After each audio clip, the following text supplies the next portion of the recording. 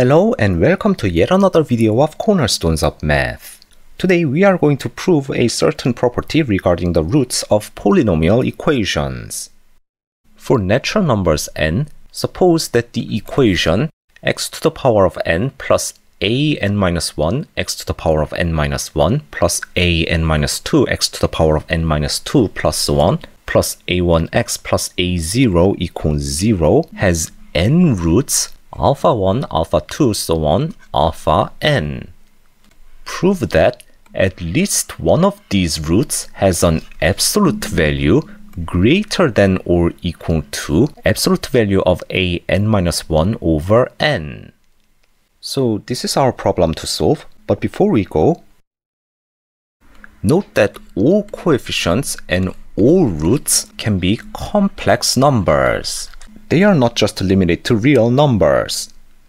Of course, if you are not familiar with complex numbers, then you may think of this problem as if we are dealing with only real number coefficients, and the case where the equation has n real roots. But the same proof applies to complex numbers as well, considering that complex number also have absolute values, just like real numbers.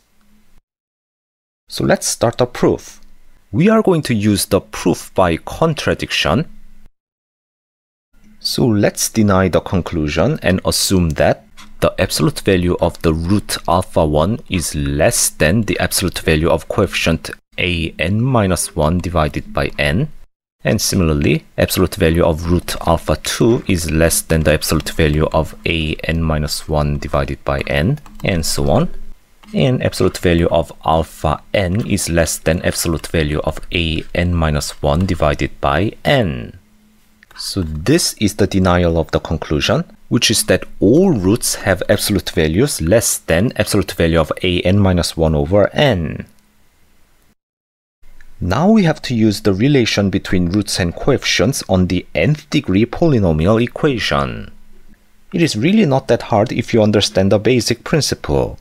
Since our equation has roots alpha 1, alpha 2, so on, alpha n, this equation can be also written as x minus alpha 1 times x minus alpha 2 times so on up to x minus alpha n. The expansion of the right hand side becomes really lengthy real soon, but we can easily identify first few higher degree terms. Obviously, the highest degree term is x to the power of n, which comes from choosing x in every one of these vectors. And as for x to the power of n minus 1 terms, we can deduce like this. If we choose minus alpha 1 from this vector and x from every other vector, then we have minus alpha 1 x to the power of n minus 1. Similarly, if we choose minus alpha 2 from this vector and x from every other vector, then we have minus alpha 2 x to the power of n minus 1. And we can go on and on. So we know that the term with degree n minus 1 is minus alpha 1 plus alpha 2 plus plus alpha n x to the power of n minus 1.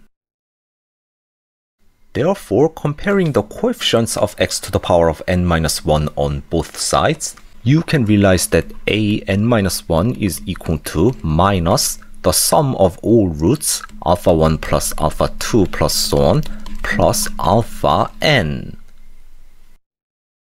Now let's take absolute values on both sides. Then we have absolute value of a n minus 1 is equal to absolute value of alpha 1 plus alpha 2 plus so on. And in the end, we have alpha n minus 2, alpha n minus 1, and alpha n. Now we use this very famous inequality known as the triangle inequality, which states that absolute value of a plus b is less than or equal to absolute value of a plus absolute value of b, which also works for complex numbers. Then we can split this part and this part and write less than or equal to alpha 1 plus alpha 2 plus plus alpha n minus 2 plus alpha n minus 1 plus absolute value of alpha n. And if we use the triangle inequality again, then we can split this and this. So we have less than or equal to absolute value of alpha 1 plus alpha 2 plus alpha n minus 2 plus absolute value of alpha n minus 1 plus absolute value of alpha n. And we can go on and on. So in the end, we have absolute value of alpha 1 plus absolute value of alpha 2 plus absolute value of alpha n minus 1 plus absolute value of alpha n. And here we use our initial assumption that all roots have absolute values less than absolute value of a n minus 1 over n, which came from denying the conclusion. Then this thing is less than absolute value of coefficient a n minus 1 over n plus absolute value of coefficient a n minus 1 over n plus so on.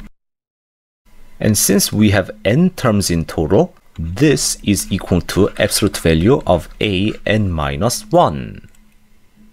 So we have absolute value of a n minus 1 is less than absolute value of a n minus 1, which is a contradiction.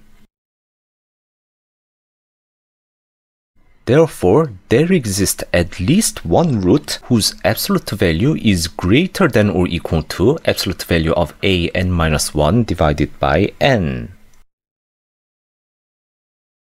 And that's all for today's video. Thank you all for watching. Please don't forget to hit that like and subscribe buttons if you enjoyed this video, and I will see you in another video.